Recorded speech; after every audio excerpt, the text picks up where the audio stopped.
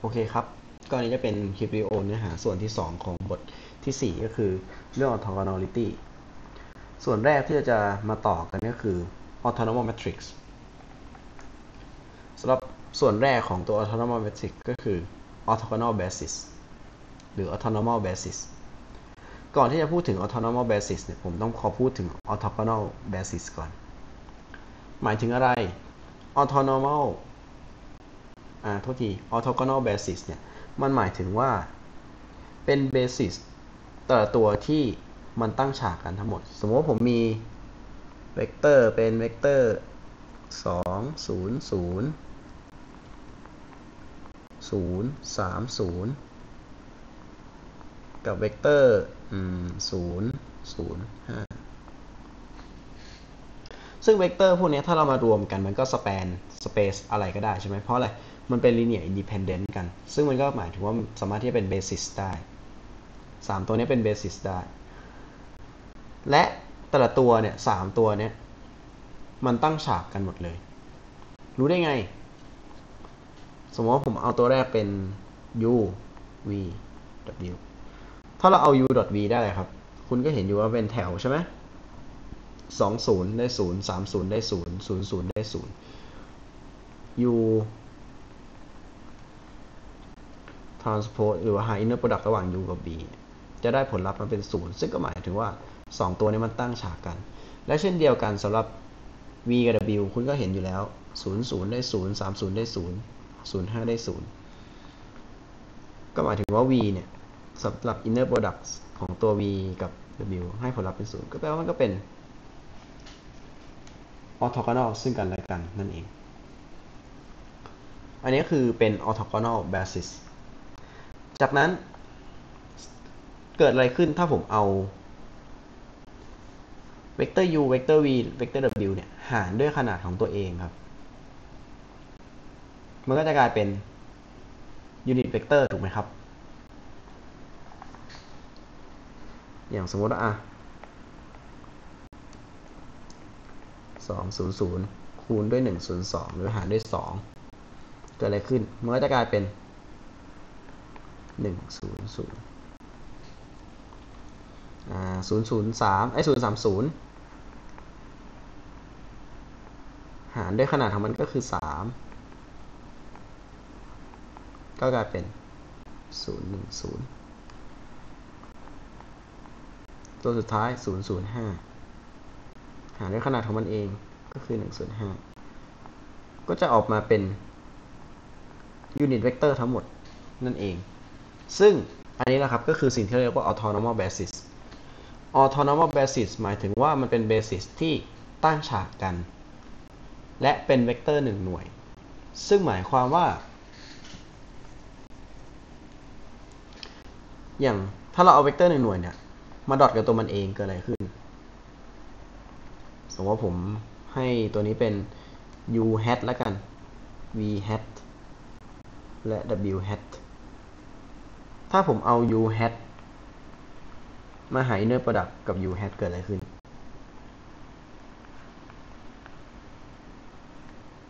มันก็คือการดอทกันปกติใช่ไหม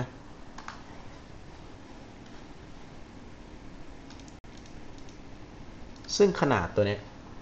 อ่า ซึ่งมันก็คือมันเป็นขนาดกำลังสอง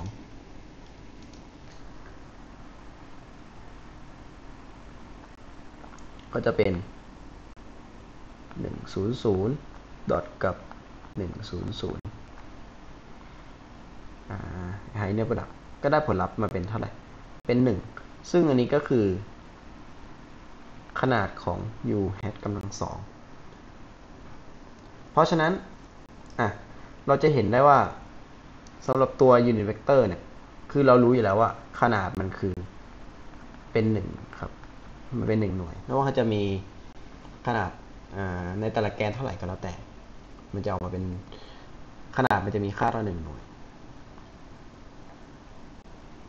ส่วนถ้าเป็นเบสิสอื่นๆที่ไม่ใช่ตัวมันเองผลลัพธ์ของมันก็จะเนื่องจากมันตั้งฉากการการหา inner product ก็จะได้เป็นศูนย์เพราะฉะนั้นสำหรับ autonomous autonomous basis เนี่ย หลักการของมันง่ายๆ ก็คือ สมมติเรามีเวกเตอร์ q1 q2 q3 ซึ่งเป็น orthonormal ในกรณีที่สมมติถ้าเราเอา qi transpose คูณด้วย j หรือว่าการหา inner product ระหว่าง qi กับ qj ถ้า i ไม่เท่ากับ j หมายถึงว่าคุณเอา basis ตัวอื่น มา dot กันหรือว่ามาหา inner product กัน มันจะได้เป็นศูนย์ถูกไหมครับ เพราะเราบอกอยู่แล้วว่ามันตั้งฉากกัน สมมติเรามี basis อยู่ 3 ตัว ซึ่งแต่ละตัวเนี่ย มันเป็น orthonormal basis เพราะฉะนั้นถ้าได้ผลลัพธ์เป็นศูนย์ส่วนกรณีที่ i เท่ากับ j ก็หมายถึงว่าตัวเวกเตอร์ตัวนั้นมัน dot กับตัวมันเอง ถูกปะเนี่ยไอตัว UVW เนี่ย สมมติถ้าผมให้โดย assign ตัวมันเองใหม่เป็น q1 เท่ากับ u hat ก็จะมีค่าเท่ากับ 1 0 0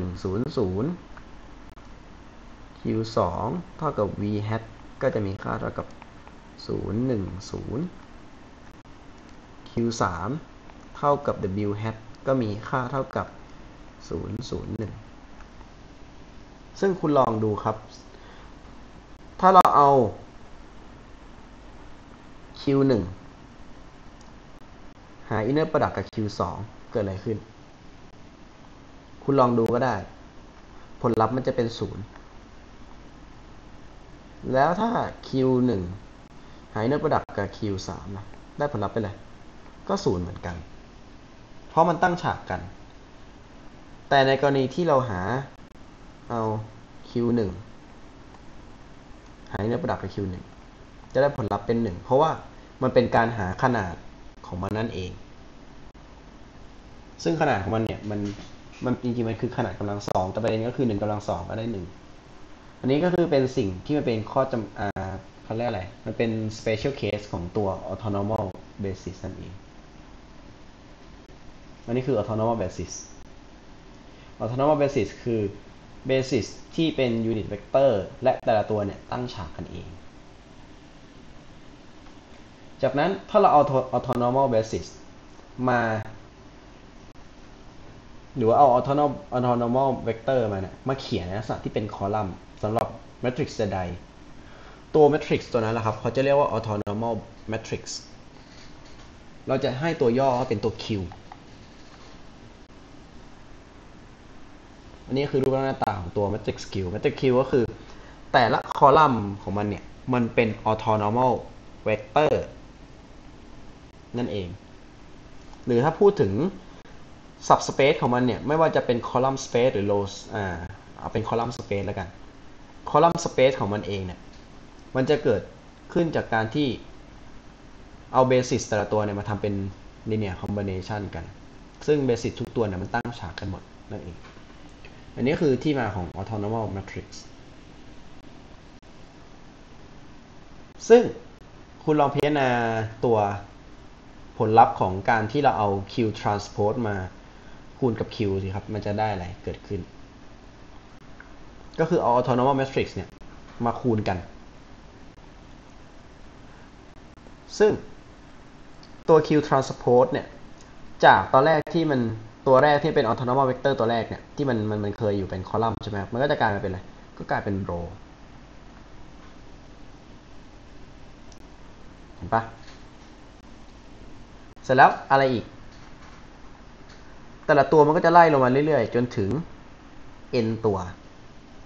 ส่วน q ก็ไม่มีอะไร แต่ละแถวแต่ละหลักก็จะเป็น autonomous vector ปกติ จากนั้นเรามาคูณกันครับอะสำหรับบทนี้ผมจะใช้วิธีการคูณแบบที่พวกคุณคุ้นชินกันหน่อย ผมมันจะไม่ได้คูณโดยวิธีการหา linear combination ของคอลัมน์หรือว่า row เราใช้วิธีการของการ dot นั่นเอง เพราะฉะนั้น สำหรับตำแหน่งแรกของตัวผมเขียนตรงนี้แล้วกันนะสมมติเป็นเมทริกซ์3คูณ3แล้วกันอะ ให้เห็นภาพชัดหน่อย q1 transpose q2 transpose q3 transpose นี่คือแถวแต่ละแถวแต่ละแถวเป็นโรจากนั้นเรามีเมทริกซ์อีกตัวหนึ่ง นี่ก็กลายเป็น q1 แต่ q1 ตัวนี้เป็นอะไร คอลัมน์ q2 q3 อันนี้คือ Q transpose นี่คือ Q ผลลัพธ์มันจะออกมาเป็นยังไงครับ ผลลัพธ์มันจะออกมาเป็นเมตริกขนาดเท่าไหร่ สมมตินี้ก็คือมันเป็นเมตริก3คูณ3ใช่ปะผลลัพธ์มันออกมาเป็นเมตริก3คูณ3เช่นเดียวกัน คู่ในเท่ากัน ผลลัพธ์ออกมาเป็นคู่นอก สำหรับตัวแรก ตรงนี้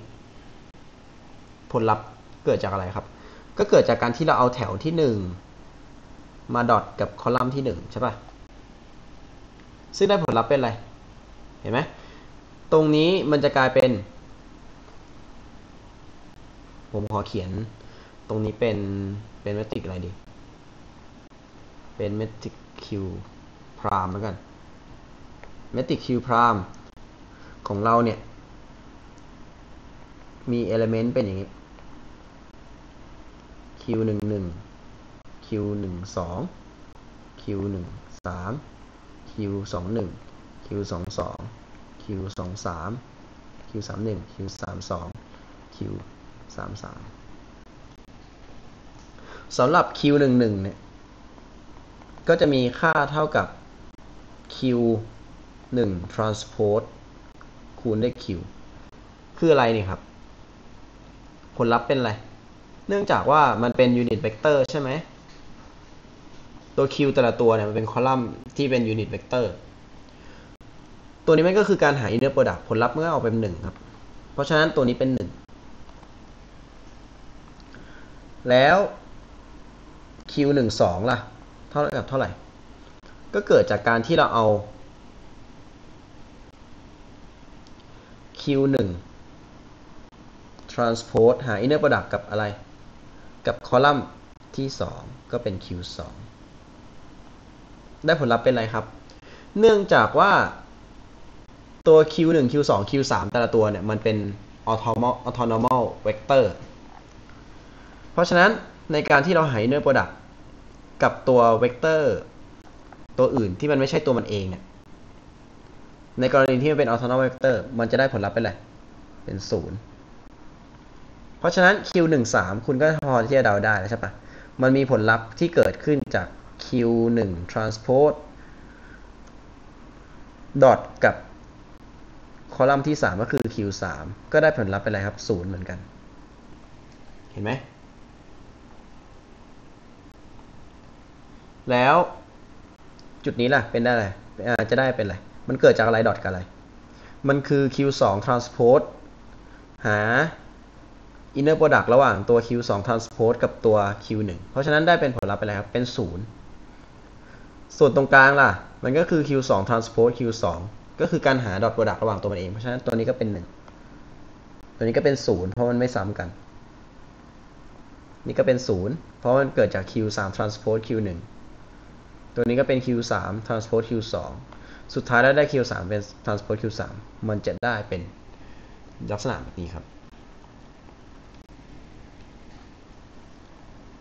นี่ เห็นไหม เพราะฉะนั้นผลลัพธ์ของการหา Q transpose กับ Q เนี่ยสำหรับ autonomous matrix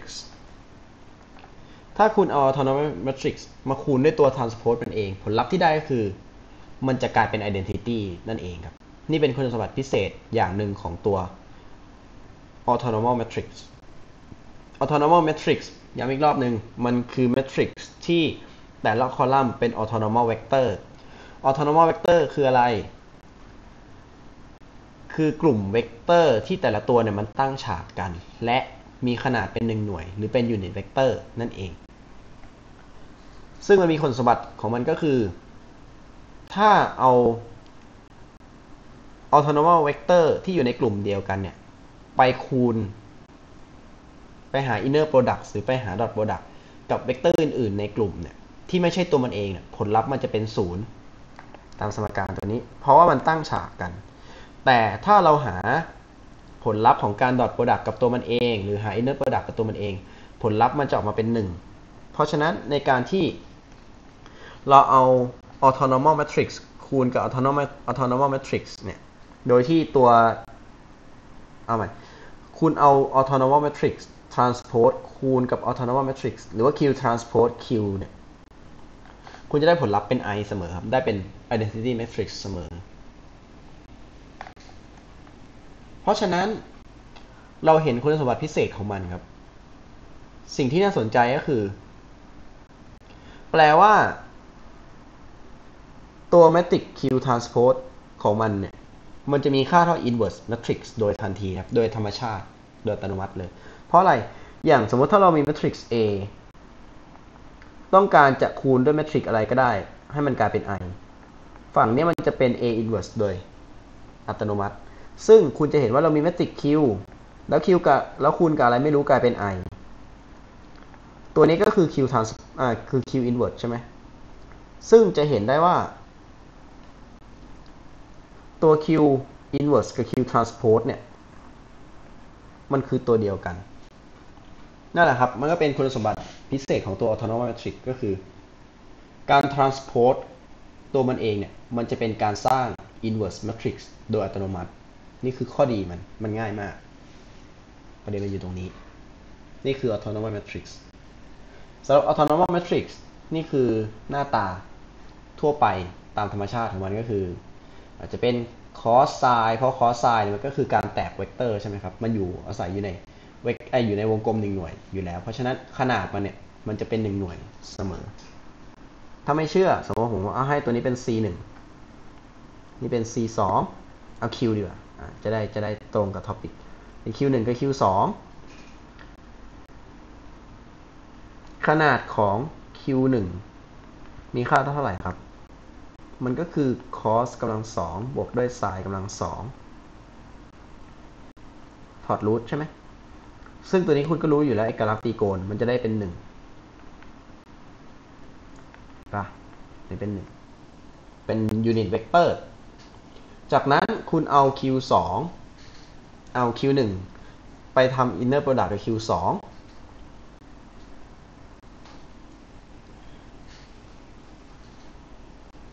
Q1 ไป Q1 หา inner product กับ Q2 ก็ได้เป็น cos sin ลบ sin cos เกิดอะไรขึ้น มันจะกลายเป็น cos เซตาลบ cos เซตา sin เซตา บวกกับ sin เซตา cos เซตาเป็นศูนย์ครับสองคอลัมน์นี้ตั้งฉากกันด้วย เพราะฉะนั้นนี่คือ autonomous matrix นั่นเอง จากนั้นเราเช็คคุณสมบัติอีกอย่างหนึ่งของมันก็คือ ตัว transpose ของมันเองเนี่ย มันจะกลายเป็น inverse ของตัวมัน เพราะฉะนั้นเราก็เอา q ตัวนี้ไป transpose ครับ เกิดอะไรขึ้น มันจะกลายเป็น มันสลับแถวกับหลักใช่ไหมหลักแรกจากที่เคยเป็น cos ไซแล้วก็เอาแถวแรกมาลง แทนก็คือกลายเป็น cos กับลบไซเซตาแล้วก็เป็นไซกับ cos เซตานั่นเอง ซึ่งถ้าคุณเอามาคูณกันเนี่ย มันจะได้ผลลัพธ์ออกมากลายเป็น matrix i โดยทันที เพราะว่ามันจะกลายเป็น cos กำลังสองบวกไซน์กำลังสองส่วนไอ้ตรงที่มันมันไม่ได้เป็นจุดที่มันเป็นจุดตัดกัน หมายถึงว่ามันมันเป็นจุดที่ i ไม่เท่ากับ j เนี่ย คือแนวที่มันไม่ใช่เส้นทะแยงมุมอย่างนี้ดีกว่า มันจะให้ผลลัพธ์ที่เป็นศูนย์นั่นเอง เพราะฉะนั้นแมทริกตัวนี้เป็น autonomous matrix ซึ่งตัวแมทริกข้างบนเนี่ยมันมีคุณสมบัติพิเศษอีกอย่างหนึ่ง ถ้าพวกคุณไปเรียนต่อในวิชา robotics ก็คือ ตัว matrix Q ตัวนี้มันเป็นสิ่งที่เรียกว่า rotation matrix ครับ ก็คือ matrix ที่ใช้ในการหมุน ถ้าคุณจำได้ในตอนที่เรา เอาตัวมันเอาพวก matrix พวกนี้ไปคูณกับเวกเตอร์เพื่อหมุนมันหรือว่าการ shear มันเนี่ยสำหรับ matrix Q เนี่ยมันจะหมุนเวกเตอร์ไปตามมุม thetaแต่ตัว matrix Q transpose เนี่ย มันจะหมุนแมทริกเหมือนกัน แต่หมุนในทิศทางตรงกันข้ามด้วยขนาดมุมที่เท่ากัน นั่นเอง ยกตัวอย่างเช่น สมมติผมแทนค่าไปเป็น เอ่อ เท่าไหร่ดี เซตาเป็น 90 องศา สมมตินะสมมติ matrix q เราจะกลายเป็นอะไร matrix q เราก็จะกลายเป็นศูนย์หนึ่งลบหนึ่งศูนย์นี้ใช่ปะ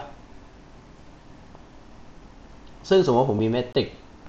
อ่าเป็นเวกเตอร์โทษที เป็นเวกเตอร์หนึ่งศูนย์มันก็คือเป็น unit vector ที่ชี้มาฝั่งนี้ ขนาดเป็น x เป็นหนึ่งหน่วย พอเรามาคูณเกิดอะไรขึ้นครับ ผลลัพธ์ก็จะกลายเป็นหนึ่งศูนย์หนึ่งเท่ากับศูนย์หนึ่งเราหมุนไป90เวกเตอร์ตัวนี้ก็จะกลายเป็นเวกเตอร์ตัวนี้ เห็นปะ จากนั้น matrix Q transpose ล่ะ มีค่าเท่าไหร่ คุณก็เอา matrix Q เรามาสลับแถวก็กลายเป็น0ลบ1อ่าโทษที1 0 แบบนี้ เราเอาเวกเตอร์เมื่อกี้ มาคูณกลับไป0 1มันจะกลายเป็นผลลัพธ์ก็คือ 1 คูณด้วย1 0ก็เท่ากับ1 0เห็นไหม มันจะกลายเป็นแมทริกซ์ตัวนี้หมุนลงมาตรงนี้แทนป่ะนี่แหละคือคุณสมบัติของตัว autonomous matrix อย่างหนึ่งเลย การ transpose มันจะเป็นการ inverse ถ้าคุณเคยหมุนตามเข็ม inverse มันจะเป็นหมุนทวนเข็มใช่ปะซึ่งการหา transpose ก็จะหาคำตอบได้ง่าย นั่นเอง ตัว autonomous matrix เนี่ยในการหา inverse เนี่ยจะง่ายมาก แค่มา transpose แล้วก็ได้ inverse เลย ไม่ต้องมาคิดคำนวณให้ยุ่งยาก ไม่ต้องทำ Gauss Jordan เพื่อหาตัว inverse matrix ส่วนอีกกลุ่มหนึ่งก็คือเป็นพวก permutation matrix ครับ permutation matrix เนี่ย ก็เป็น autonomous matrix เหมือนกัน เพราะอะไรคุณลองเช็คขนาดแต่ละคอลัมน์มันสิเห็นปะเป็นหนึ่งเสมอ เพราะมันเกิดจากการที่เอา identity matrix เนี่ยมา shuffle shuffle row หรือว่าสลับแถวสลับหลักกันนั่นเองแค่นั้นเองในการหา inverse มันก็แค่ใช้วิธีการของการทำ transpose ก็จะได้ inverse ของมันเองนั่นเอง อันนี้คือตัวอย่างของตัว autonomous matrix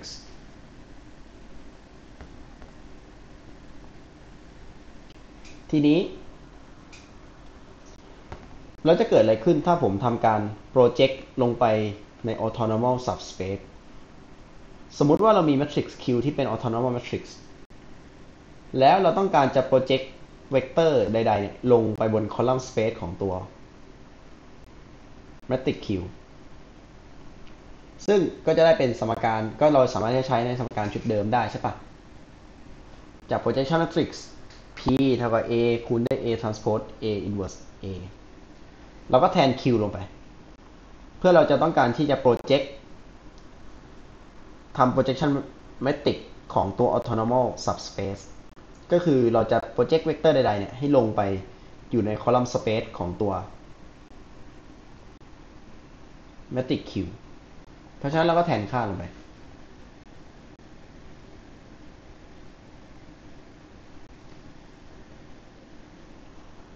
ไหม จากนั้น คุณสมบัติพิเศษของมันก็คือ เนื่องจากว่า q transpose q เท่ากับ i เนี่ยสำหรับกรณีที่ q เนี่ยเป็นเป็นเขาเรียกอะไรนะ เป็น square matrix นะครับ อันนี้ต้องต้องเฉพาะนิดนึงนะ ต้องเป็น square matrix ก็คือเป็น matrix จัตุรัส ตัว q transpose q เนี่ย มันจะมีคุณสมบัติเป็น i ก็คือ เนื่องจากว่า q transpose เป็น inverse ของมันเองนั่นแหละ เพราะฉะนั้น ตัวแมทริกนี้จะหายไปครับ นี่กลายเป็น i เพราะฉะนั้นสิ่งที่เราเหลือจริงคืออะไร projection matrix ของเราเนี่ยจะง่ายมาก มันจะมีแค่มีค่าเท่ากับ q คูณด้วย q transpose แค่นั้นครับ อันนี้คือ projection matrix ของตัว autonomous matrix ใด ๆ นะครับ ในการ project มันจะคำนวณง่ายมาก ๆ นั่นเอง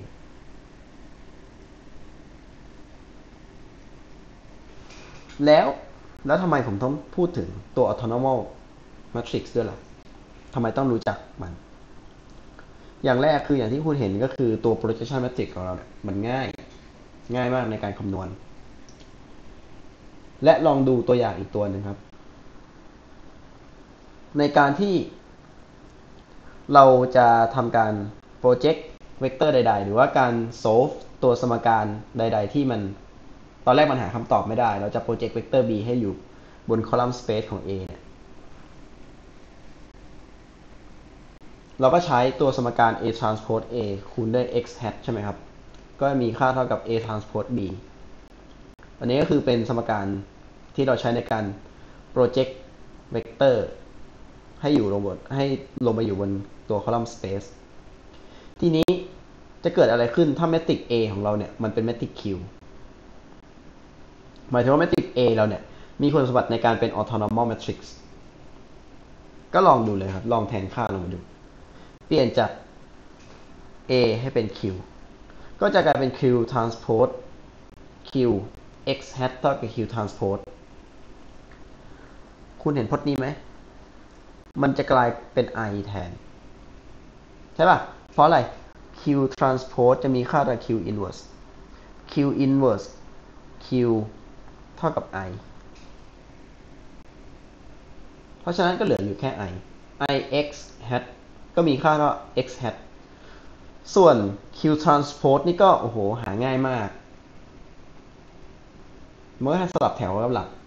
มันก็คือ inverse นั่นแหละ เพราะฉะนั้นจะเห็นว่าการหาคำตอบของ x hat เนี่ย จะง่ายมาก แค่เอา q transpose ไปคูณกับเวกเตอร์ b คุณจะได้คำตอบเลยครับ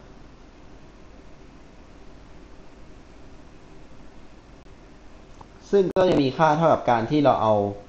ตัวคอลัมน์เวกเตอร์แต่ละตัวเนี่ยไปหา inner product กับ b ก็ตามสมการตัวนี้ จะเห็นว่าถ้า matrix A ของเราเนี่ย มันกลายเป็น orthonormal matrix เนี่ย การแก้สมการอะไรก็แล้วแต่มันจะง่ายไปหมดคำนวณง่าย สามารถที่จะหาคำตอบได้ง่ายนี่เป็นประโยชน์ของมันนั่นเอง นี่คือ benefit ของมัน เพราะฉะนั้นจากประโยชน์ของตัว orthonormal matrix เนี่ย ก็เลยมีนักคณิตศาสตร์เขาทำการหา ค้นหาวิธีการแปลง matrix เนี่ย ให้กลายเป็น orthonormal matrix ได้ ให้ได้ นักวิทยาศาสตร์ที่ไม่ใช่วิทยาศาสตร์นักคณิตศาสตร์สองคนนั้นที่ค้นพบก็คือ Gram กับ Schmidt เขาเป็นคนสองคนนะครับ Gram-Schmidt เขาได้คิดอัลกอริทึมของเขาขึ้นมาเป็นอัลกอริทึม Gram-Schmidt ซึ่งเป็นวิธีการในการแปลง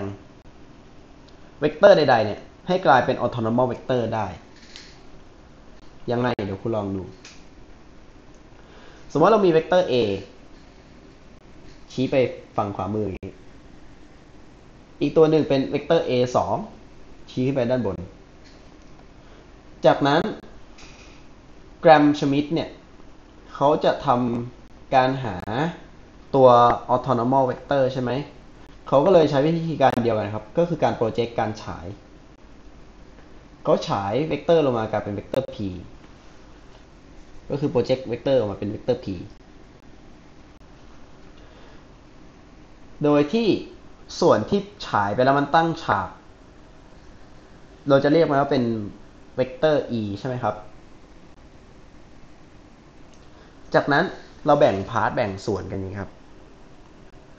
สำหรับเวกเตอร์ที่เป็นส่วนที่เราต้องการจะฉายลงไป หรือว่าใช้เป็น reference เนี่ยเราจะเรียกมันด้วยตัว capital letter หรือว่าเป็นตัว A ใหญ่ เป็น A1 อย่างนี้ คือส่วนที่เราต้องการจะฉาย เป็นเวกเตอร์ที่ต้องการจะหาเวกเตอร์ตั้งฉากกับตัวมัน ส่วนเวกเตอร์ e เราจะเรียกมันว่าเป็นเวกเตอร์ a2 คุณสมบัติของมันก็คือเวกเตอร์ a1 กับ a2 เนี่ย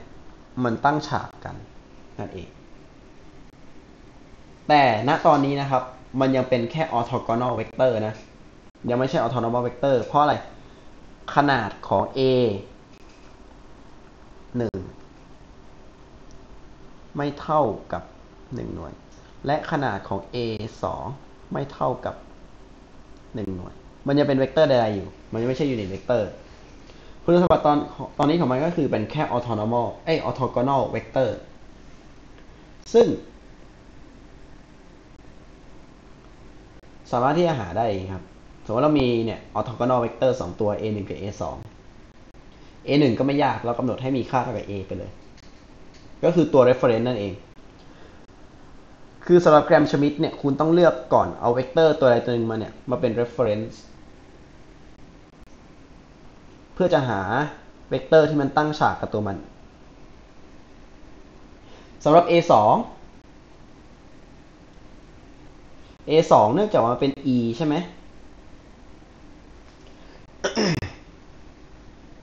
เพราะฉะนั้นสมการมันก็จะเป็นสมการชุดนี้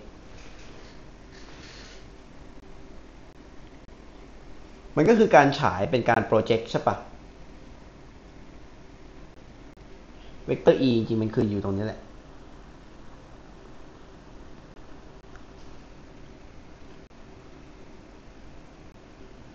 ซึ่งมันชี้ไปฝั่งนี้ใช่ไหม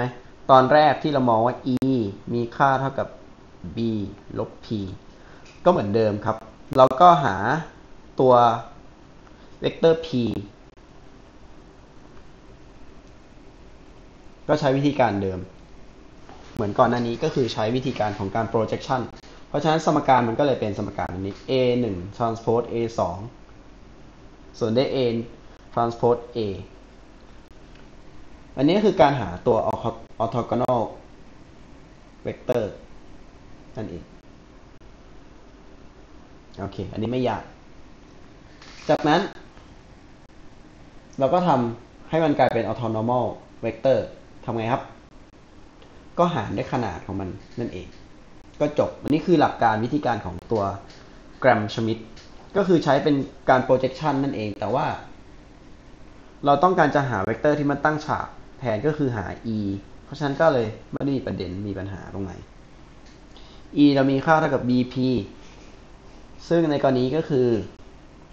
b ของเราคืออะไร คือ a 2 p ของเราล่ะ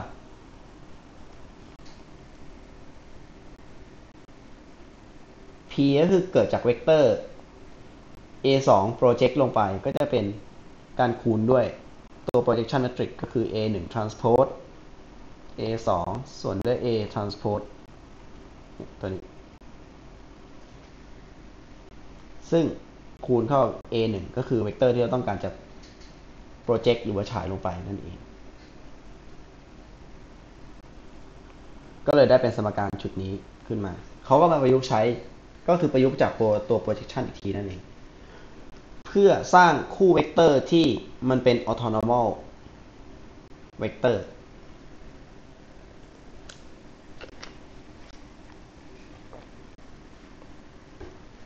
แล้วถ้าเป็นสามมิติล่ะ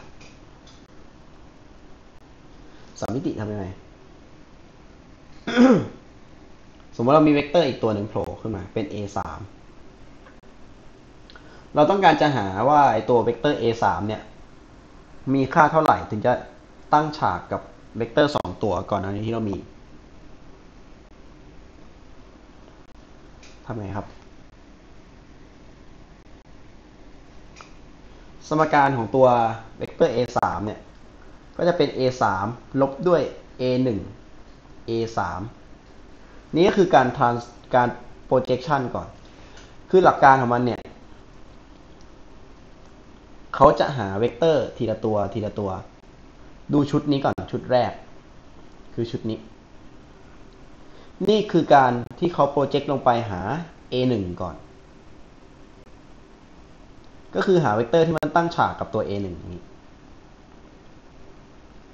หาเวกเตอร์นี้ ก็คือสมการชุดนี้ ก็มีค่าเท่ากับ a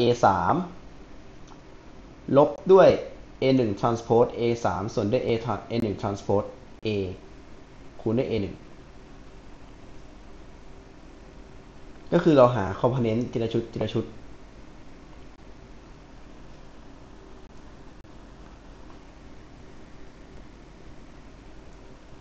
ตรงนี้ คือ a 3ลบด้วย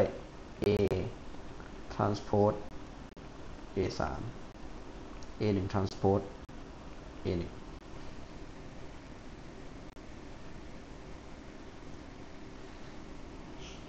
จากนั้นทำอะไรอีก เขาจะเอาเวกเตอร์ตัวเนี้ยโปรเจกต์ลงไปหา a 2อีกทีหนึ่ง อันนี้อาจจะดูยากนิดนึงนะครับ ก็คือมันเขาค่อยๆทำทีละชุดทีละชุด หาเวกเตอร์ที่ตั้งฉากกับ a 1 ก่อน จากนั้นก็หาเวกเตอร์ที่ตั้งฉากกับ a 2 ด้วย โดยที่ใช้ผลลัพธ์ที่เกิดจากเวกเตอร์ที่ตั้งฉากกับ a 1 เพราะฉะนั้นนี่คือสมการของมัน ก็เป็นชุดสมการแบบนี้ ก็ใช้วิธีการของการ projection และเช่นเดียวกันสำหรับการหา orthonormal vector ก็ใช้วิธีการก็คือการหาด้วยตัวขนาดของมันนั่นเอง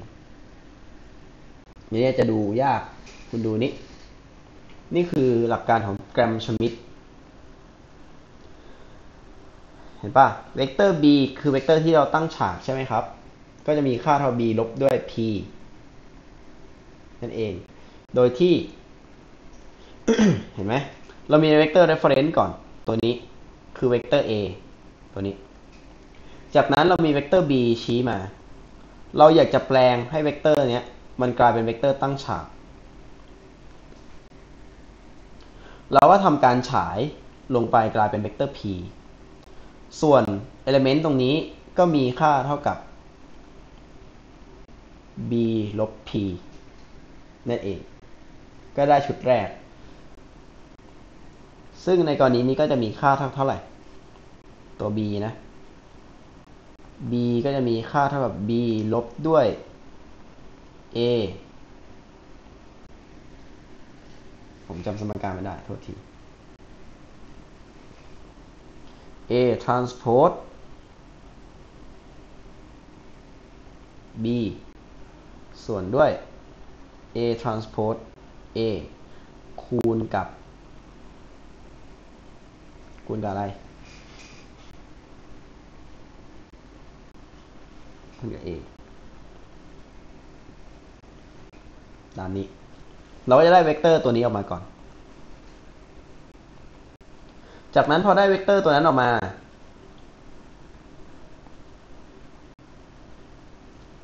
เราก็จะมี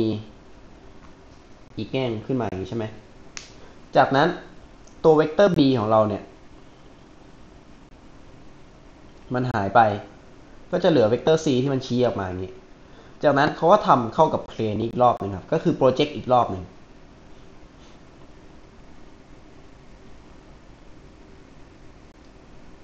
เขาจะทำทีละระนาบระนาบระนาบ หาไปเรื่อยๆเรื่อยๆเรื่อยๆจนสุดท้ายแล้วก็มาหาตัวยูนิตเวกเตอร์ คุณก็จะได้เป็น autonomous vector นั่นเอง นี่คือหลักการของแกรมชมิด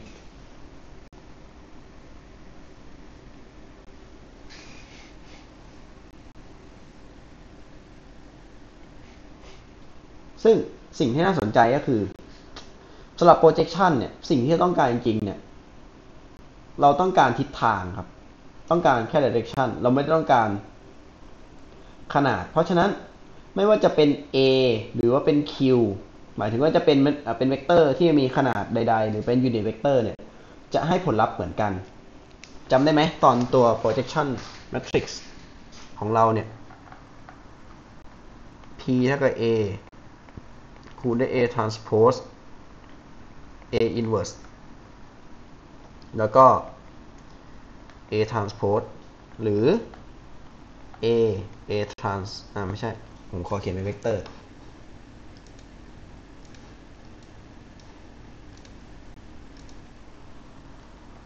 a a transpose หารด้วย a transpose a ถ้าคุณให้ขนาดของตัว a เนี่ย เปลี่ยนเป็น 2 เท่า a เท่ากับ 2a แทนไปก็จะกลายเป็น 2a 2a transpose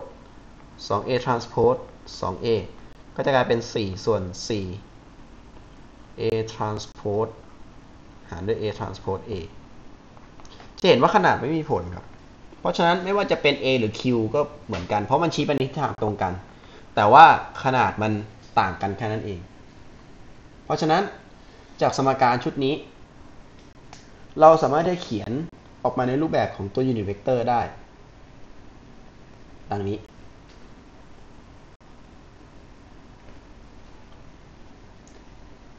โดยการที่เราแทน a พวกเนี้ยให้กลายเป็น q ซะ จากนั้นเห็นข้างล่างไหมครับ a transpose a เนื่องจากว่าตอนนี้เราแปลงให้มันเป็น q แล้วนะผมเขียนให้ดูก็ได้ a 2 q 1 transpose a 2 หารส่วนด้วย q transpose พจน์เนี่ยมันได้เป็น 1 ใช่ปะ่ะ เพราะฉะนั้นสมการเราก็เลยเหลืออยู่แค่ a 2เท่ากับ a 2ลบด้วย a อะด้วยลบด้วย q 1 transpose a 2 q และเช่นเดียวกันสำหรับ a 3ก็เขียนได้เหมือนกัน เป็นสมการชุดเดียวกัน และจะเห็นได้ว่า เนื่องจากว่าลำดับขั้นตอนในการทำเนี่ยมันทำ step เป็น step step ใช่ไหมก็คือหา reference หาเวกเตอร์ตั้งฉาก จากนั้นก็ ตัวต่อไปเนี่ย เราก็จะเอาแต่ละ element แต่ละ element เนี่ยมาลบมาลบก็คือ มีเส้นเส้นหนึ่งมีเส้นนี้ฉายให้ได้เส้นนี้ก่อนโอเคไหมจากนั้นพอเราได้สองเส้นนี้ มีเวกเตอร์อีกตัวหนึ่งชี้มา ก็ฉายให้มันกลายเป็นอีกเส้นหนึ่ง อย่างนี้ ค่อยๆทำไปทีละชุดทีละชุดทีละชุด เหมือนรูปตัวเนี้ย ขั้นแรกเขามี a กับเวกเตอร์ b สร้างให้เกิดเวกเตอร์ b ก่อน จากนั้นมีเวกเตอร์ c คุณก็ทำการ project ให้แต่ละแกนเกิดขึ้น ซึ่งผลลัพธ์ก็คือ พวกนี้มันจะตั้งฉากกันหมด ซึ่งสมการมันจะไล่ step ไปเรื่อยๆอย่างเงี้ย เป็นนี่คือฉายเข้า A ตอนเนี้ยตอนแรกเรามีแค่เส้นเดียวใช่ป่ะ นี่คือ A 1ผมขอเขียนตรงไหนดี ให้มันเห็นชัดๆ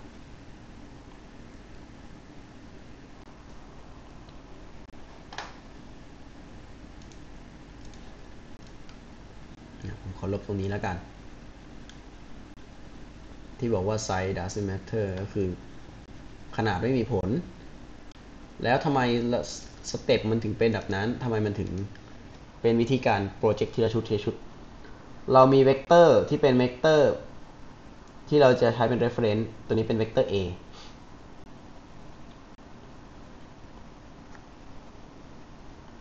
จากนั้นเรามีเวกเตอร์หนึ่งตัว วิ่งเข้ามา เราก็ทำการ project และสร้างให้ไปเป็นเวกเตอร์ตัวนี้ ตัวนี้เป็น a 1 เราสร้าง a 2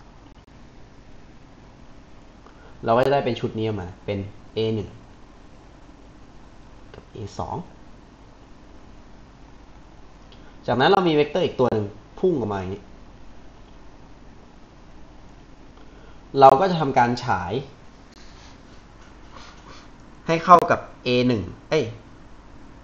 ผมเขียนสลับกัน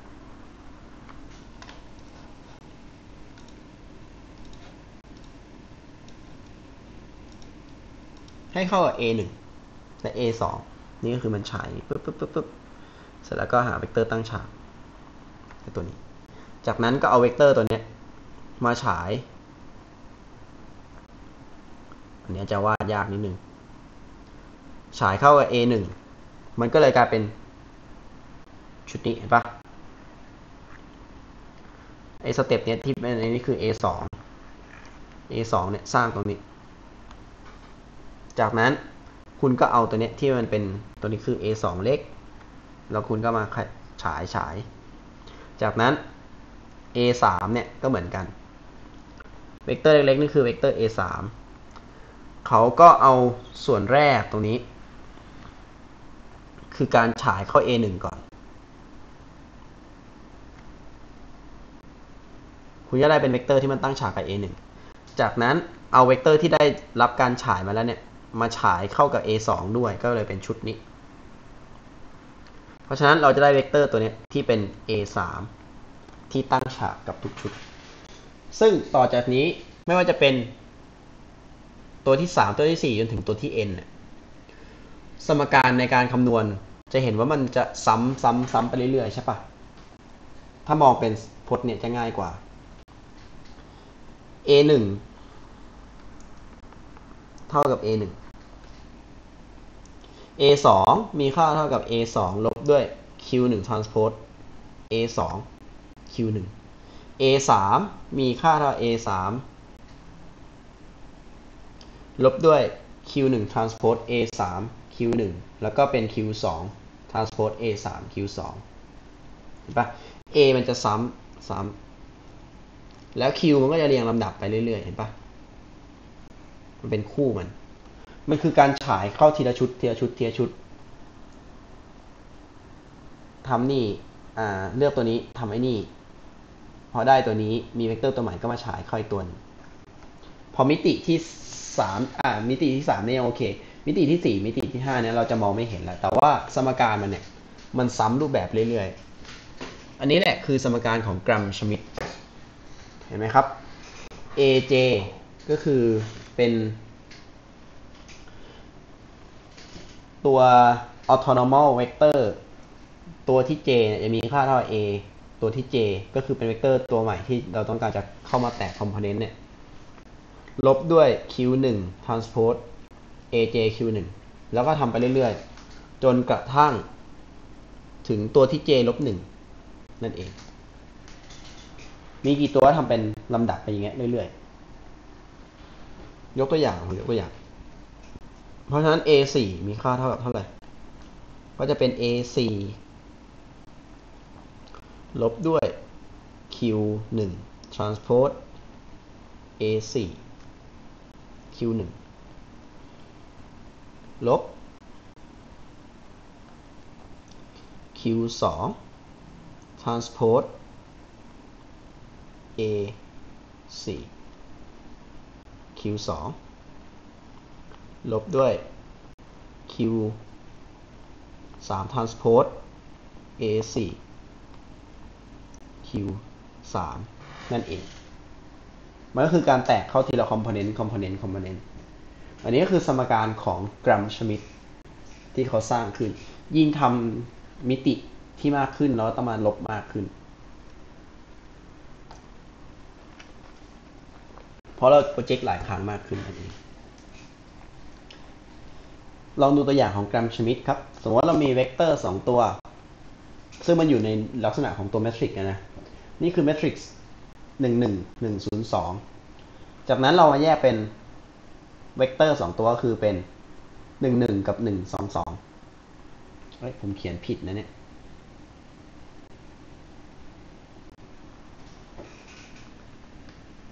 ขอดูก่อนนะ ตัวนี้ต้องเป็นศูนย์ ผมจำไม่ได้ ผมเขียนผิด แก้ด้วยนะครับ เพราะฉะนั้นสำหรับคุณสมบัติตัวแรกเราทำที่ orthogonal ก่อน เราก็เอาเวกเตอร์ a เนี่ยเป็น reference ก็เป็น 1 1 1 จากนั้นเราต้องการจะหา orthogonal vector ก็คือเกิดจากตัวเวกเตอร์ b เนี่ยที่เอาไป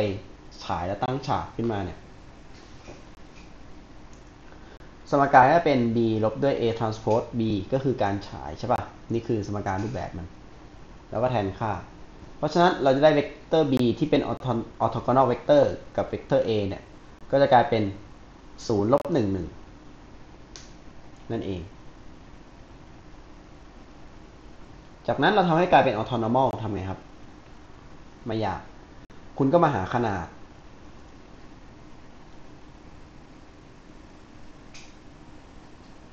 ตัวแรกก็เกิดจาก1กำลัง1บวกกัน3ครั้งถอดรูทก็กลายเป็นรูท3ส่วนตัวที่2คือเป็น1กำลัง2บวก0กำลัง2บวก2กำลัง2ก็กลายเป็น1บวก4ได้เป็น5เอ้ยไม่ใช่ โทษทีผิดต้องตรงนี้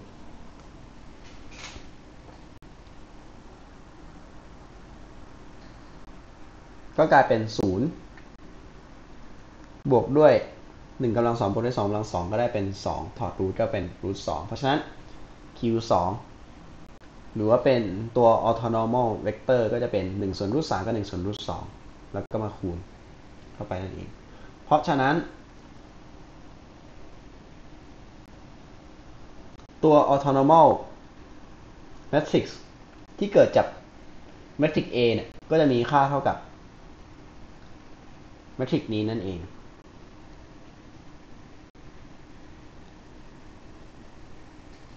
ก็จะเป็นเมตริกหนึ่งส่วนรูทสามศูนย์หนึ่งส่วนรูทสามลบหนึ่งส่วนรูทสองเนี่ยก็มาแทนค่าไปเรื่อยๆ ซึ่งนี้ก็คือเมตริกคิวของเรา ซึ่งเป็นเมทริกซ์ที่คอลัมน์เวกเตอร์แต่ตัวเนี่ยเป็น orthonormal vector โอเค ก็จะเห็นว่าเราเริ่มที่จะแปลงเมทริก A เนี่ยให้กลายเป็นเมทริก Q ได้แล้ว แต่อันนี้ยังไม่ครบ ส่วนต่อไปเราก็จะพูดถึงการทำเมทริก factorization อีกวิธีหนึ่งสำหรับบทที่ 2 เราจะมี A เท่ากับ LU ก็คือเป็น lower triangular กับ upper triangular matrix ใช่ไหมครับ ในบทนี้เราจะมี A เท่ากับ QR ก็คือเป็น matrix A เนี่ย สามารถที่จะแยกองค์ประกอบมาเป็น orthonormal matrix คูณกับ matrix R ได้นั่นเอง สมมติเรามี matrix A ซึ่งแต่ละคอลัมน์เนี่ยก็เป็น เป็นคอลัมน์ที่มีชื่อว่า A B C ตามหลัก ตาม ตามระดับ จากนั้นเราทำการ transform หรือว่าแปลงให้มันกลายเป็น matrix Q เนี่ย ให้มีคอลัมน์เป็น Q1 Q2 Q3 ซึ่งแต่ละคอลัมน์เนี่ยมันตั้งฉากกัน เราสามารถใช้เทคนิคของแกรมชมิดในการทำได้นะครับ เพราะฉะนั้น matrix Q เราเป็นไงครับ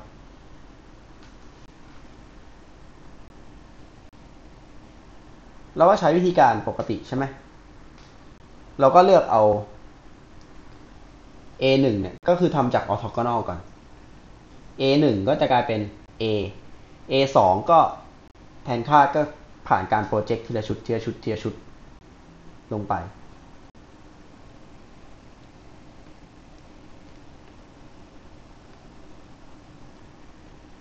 โดยที่ Q แต่ละตัวเนี่ยก็เป็น A หารด้วยขนาดของ A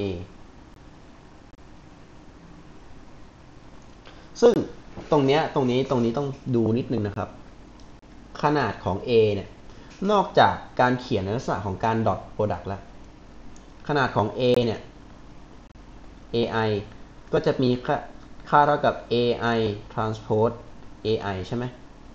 ถอดรูทหรือว่าเป็นขนาดอ่าเป็น AI dot AI ถอดรูทอีกวิธีหนึ่งในการเขียนก็คือ เนื่องจากว่าไอตัว vector q ของเราเนี่ย มันเป็น normal vector อ่าเป็น ไม่ใช่ normal vector โทษที เป็น unit vector มันคือ vector หนึ่งหน่วย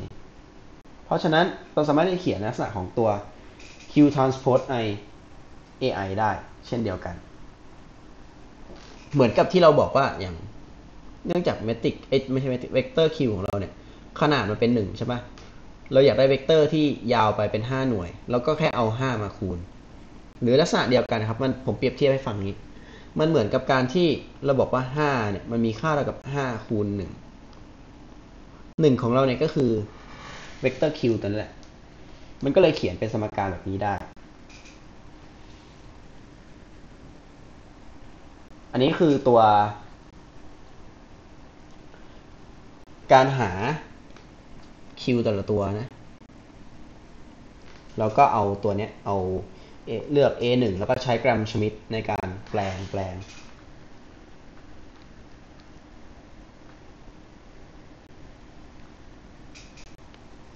โดยที่ทำการฉายเทีละชุดเทีละชุดเทีละชุด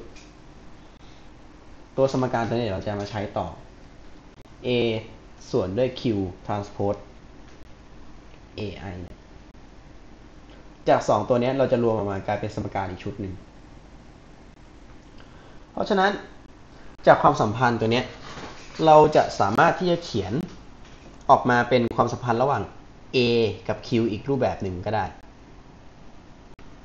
ปะตอนแรกเราเป็นสมการชุดนี้ใช่ไหม ซึ่งเรารู้สมการชุดนี้อีกชุดหนึ่ง Q I ตอนนี้ก็คือเป็น Q1 มีค่าเท่ากับ A1 ส่วนด้วย Q1 transpose A1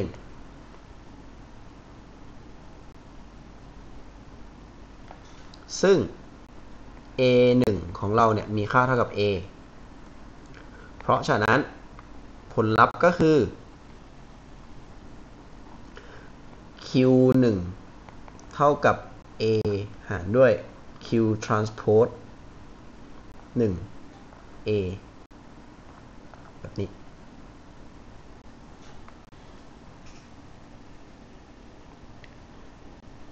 ร็จแล้วเราก็ย้ายข้างสมการครับ a จะมีค่าเท่ากับ q 1คูณด้วย q transpose a หรือว่าสลับกันก็ได้ ก็ได้เป็นชุดนี้ จากนั้นก็เหมือนกันครับ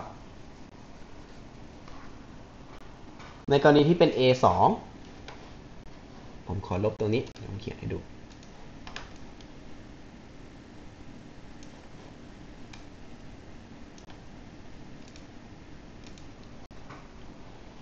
สำหรับกรณีที่เป็น a 2 a 2เรามีค่าเท่ากับ b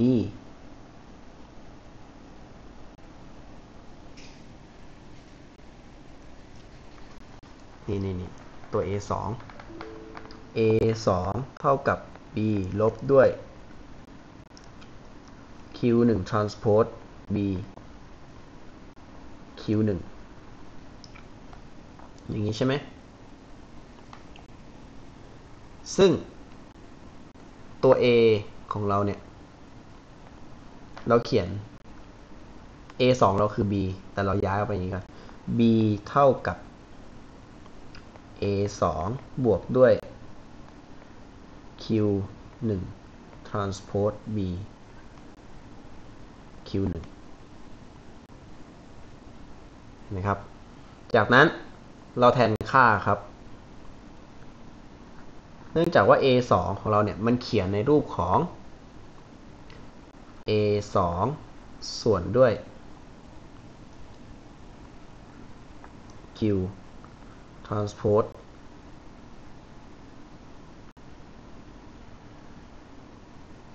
2 a 2นี้ได้ ซึ่ง a 2เราเนี่ยมีค่าเท่ากับ b เพราะฉะนั้นจากชุดนี้ก็คือเราเขียนได้นี้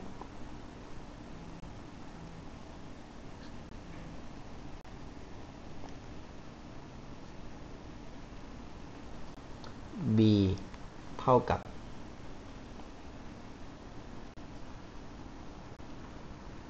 b หารด้วย q 2 b q 2อ่าไม่ใช่ ตัวที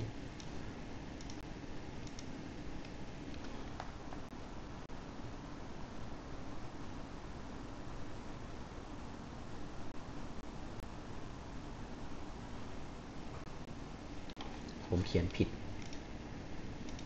สักครู่พดนี้พดนี้งง q 2 q 2 มีค่าเท่ากับ b หารด้วย อะ q 2 มีค่าเท่า b หารด้วย q 2 transpose b เพราะฉะนั้น b จะมีค่าเท่ากับ q 2 transpose b q 2 ก็มาแทนค่าลงไปชุดนี้ เพราะฉะนั้น b เราก็เลยเป็น ก็เขียนสลับเลยนะครับ เป็น q 1 transpose b q 1 บวกด้วย q 2 transpose b q 2 ครับพี่ ก็ได้เป็นชุดนี้ แล้วก็ทำแบบนี้ลงไปเรื่อยๆครับ เพราะฉะนั้นเราจะเห็นความสัมพันธ์ระหว่าง เมตริก A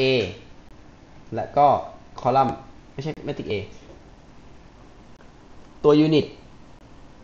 เวกเตอร์หรือว่าตัว autonormal เวกเตอร์แต่ละตัวและความสัมพันธ์ที่เกิดขึ้นกับตัว A B C ก็คือคอลัมน์พวกนี้ เราจะเห็นความสัมพันธ์มัน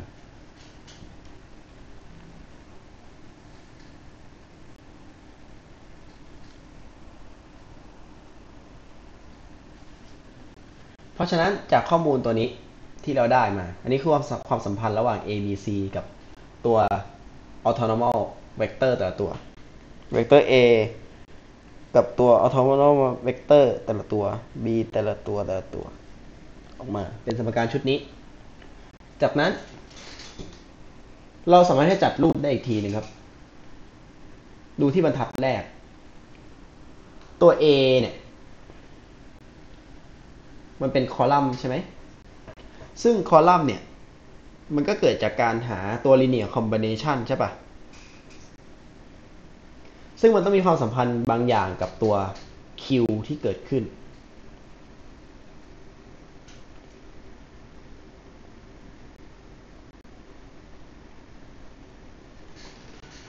คือตอนนี้เรามี A ผมขอเขียนอย่างนี้แล้วกันนะ B C มีค่าเท่ากับ Q 1มันอยู่ในมันอยู่ในแมทริกผม Q 2ก็คือแต่ละคอลัมน์มันนั่นแหละ Q 3คูณกับแมทริกซ์อีกตัวหนึ่งที่เป็นอะไรก็ไม่รู้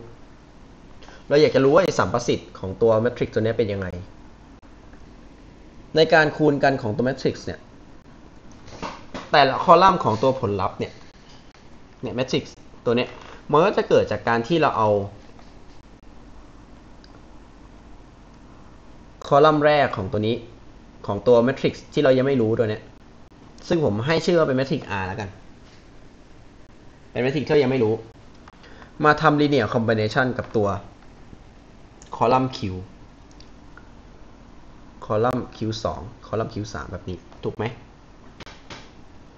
เพราะฉะนั้นมันต้องมีค่าสัมประสิทธิ์อะไรสักอย่างหนึ่ง เนื่องจากพวกนี้มันผมก็จะเอาคอลัมน์พวกนี้มาเขียนใช่ปะนี่คือคอลัมน์ที่ผมพูดถึง ซึ่งผลลัพธ์เนี่ยคุณเห็นได้ว่ามันมีค่าเท่ากับการที่เราเอาคอลัมน์ Q1 เนี่ยมาคูณกับ ตัว Q1 transpose A เพราะฉะนั้นแปลว่าสัมประสิทธิ์ตรงเนี้ยตรงนี้ก็ต้องเป็นศูนย์เป็นศูนย์สิ เพราะว่าคอลัมน์ที่ 2 กับคอลัมน์ที่ 3 ของเราตัวเนี้ยมันหายไป ก็เลยเขียนมาเป็นรูปสมการอย่างนี้ได้ เพราะฉะนั้นคอลัมน์ A1 เนี่ยเกิดจากการที่ตัว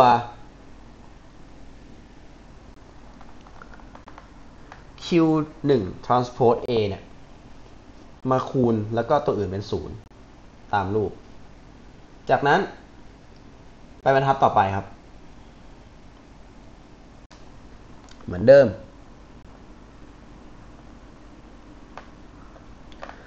ตัว B ตัวนี้มันก็ต้องเกิดจากการตัวนี้การที่เอาตัวคอลัมน์ที่ 2 ของตัว R ไปทำ linear combination กระจายเข้าไปแต่ละชุดนี้ ผมเขียนข้างล่างดีกว่า เดี๋ยวงง สักครู่นะครับ ลบ ลบ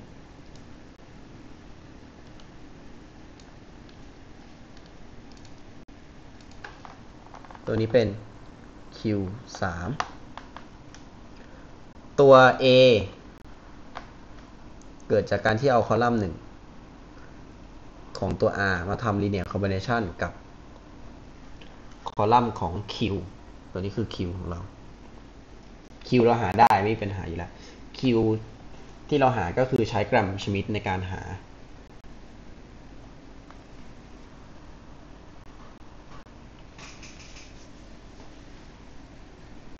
ส่วน B ก็จะเกิดจากการที่เราเอาคอลัมน์ที่ 2 ของ R เนี่ยมาทำ linear combination ในแต่ละชุด กับ matrix Q นั่นเอง ซึ่งจะเห็นว่ามันมีผลลัพธ์แค่เป็น Q1 กับ Q2 นี้ใช่ไหม ถูกไหม แปลว่าตัวสุดท้ายมันต้องเป็นศูนย์สิ นี่คือสิ่งที่เกิดขึ้น ส่วนสัมประสิทธิ์ข้างหน้า เราก็เห็นอยู่แล้วเป็น Q1 transpose B กับ Q2 transpose B เราก็มาตอบได้ว่าค่าพวกนี้เป็นค่าเท่าไหร่ ส่วนตัวสุดท้าย ก็คือชุดนี้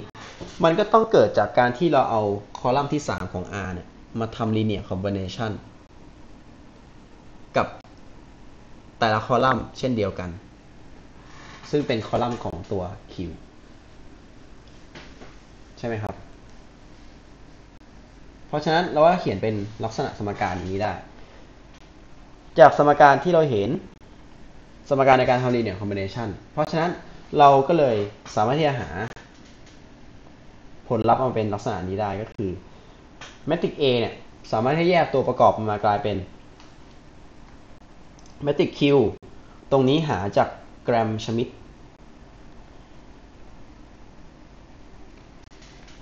ส่วน matrix R ก็เกิดจากการที่เราแยกองค์ประกอบพวกนี้ซึ่งมันจะมีแพทเทิร์นของมันแบบนี้ไปเรื่อยๆครับ มันเป็นแพทเทิร์นซ้ำอะครับ นี่เห็นไหม เป็น Q1A Q1B Q1C ส่วนแถวที่ 2 ก็เป็น Q2 B Q2C แถวที่ 3 ก็คือเป็น Q3C แค่นั้นเอง ซึ่งตัวนี้ก็จะเป็นลักษณะที่เป็น upper triangular matrix เหมือนกัน ถ้าเป็น matrix 4คูณ4ล่ะ ผลลัพธ์มันจะเป็นแบบไหน ผมยกตัวอย่างให้ดู คุณก็จะมีคอลัมน์เป็น A B C และ D เรามองเป็นคอลัมน์ ก็จะมีค่าเท่ากับ matrix Q ของเราก็จะมี Q เท่าไหร่กี่ตัว 4 ตัว Q1 Q2 Q3 Q4 แล้ว matrix R ของเราล่ะ matrix R เราก็จะเป็น upper triangular เหมือนกัน มันก็จะกลายเป็น ผมเขียนตรงไหนดี ผมเขียนให้มันเล็กลงกว่านี้หน่อยนึงดีกว่า ตัว matrix A กับ matrix Q เราไม่ค่อยมีความสำคัญเท่าไหร่ เรารู้อยู่แล้ว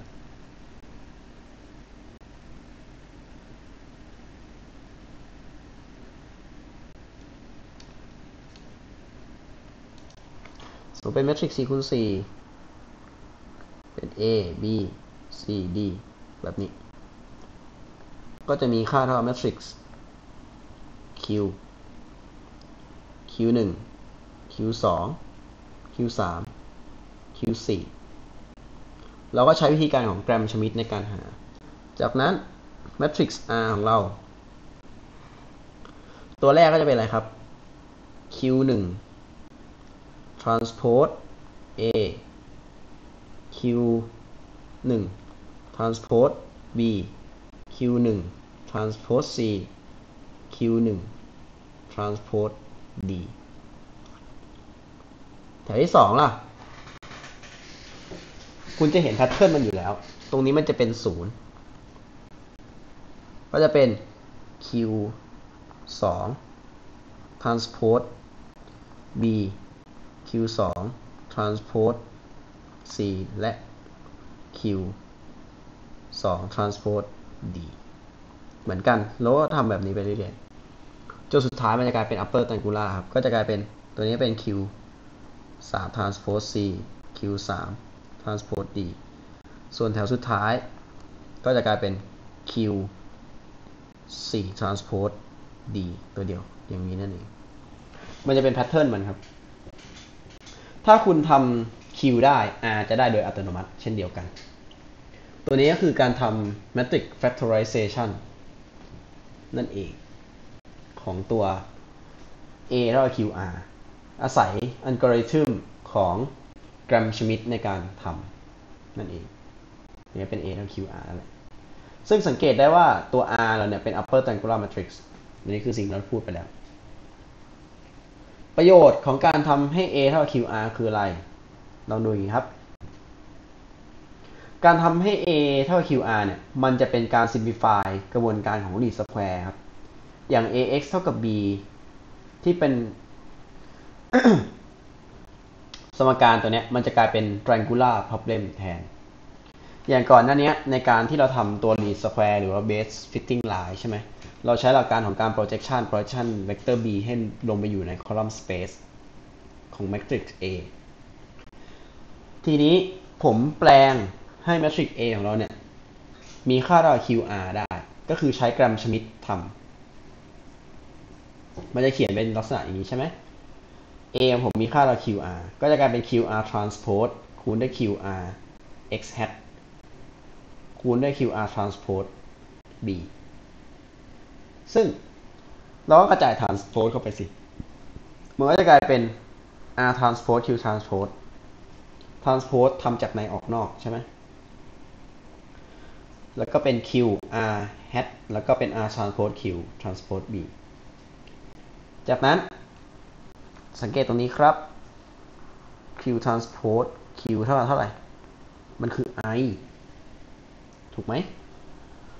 เพราะว่าตัว q เราเนี่ยมันเป็น orthonormal matrix คูณกันมันจะกลายเป็น i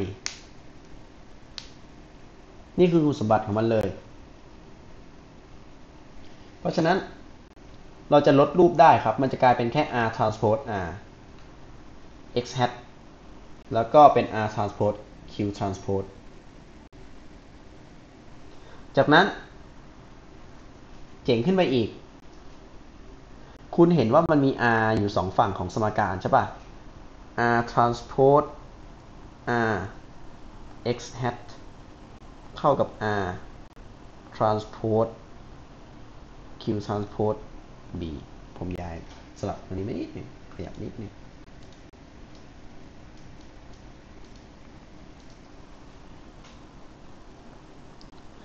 r มีอยู่สองฝั่งของสมการ เพราะฉะนั้นผมก็เลยเอามาคูณด้วย r transpose inverse ทั้งสองฝั่ง เกิดอะไรขึ้นครับ กลายเป็น i i เพราะฉะนั้นสมการสุดท้ายคุณจะลดรูปเหลือแค่ r x hat เท่ากับ q transpose b ครับ ซึ่งมันเป็นกลายเป็นว่าระบบเราเนี่ยซิมเพิลมากเลย หาคำตอบได้ง่ายมาก จริงๆมันคือระบบแบบเนี้ยคือไอ้วิธีการพิสูจน์เนี่ยคือเราค่อยๆทำทีละระบบใช่ไหม คุณลองดูอย่างนี้ก็ได้ a x hat เท่ากับ b ซึ่ง x hat ของเรามีค่าเท่ากับ qr x hat เท่ากับ b เพราะฉะนั้นเราก็คูณเข้าด้วย q inverse q เราต้องการจะกำจัดตัวนอกก่อนเท่า q inverse b ตัวนี้กลายเป็น i กลายเป็น r hat เท่ากับ q inverse b ดูเหมือนปกติใช่ไหม แต่ประเด็นอยู่ตรงที่ว่า q inverse มันมีค่าเท่า q transpose เพราะฉะนั้น r x hat เท่ากับ q transpose b นั่นเอง อันนี้คือประโยชน์ของการทำ matrix factorization ของการแปลง matrix ใด ๆ ให้กลายเป็น orthonormal matrix คูณกับ upper triangular matrix นั่นเอง โดยอาศัยอัลกอริทึมของของแกรมชมิดโอเคครับ ก็บทนี้จบประมาณนี้ เดี๋ยวผมจะมีการบ้าน ตามไปให้ลองทำการคำนวณดู ก็น่าจะไม่ยากเท่าไหร่ จะเห็นว่าตอนแรกสมการอาจจะดูมันซับมันมันดูซับซ้อนคำนวณในการคำนวณ แต่ว่าจริงๆแล้วทุกอย่างเป็นแพทเทิร์นหมดเลยแกรมชมิดก็มีวิธีการในการคำนวณที่ตายตัวตามนี้ ก็คือฝั่งขวาของสมการ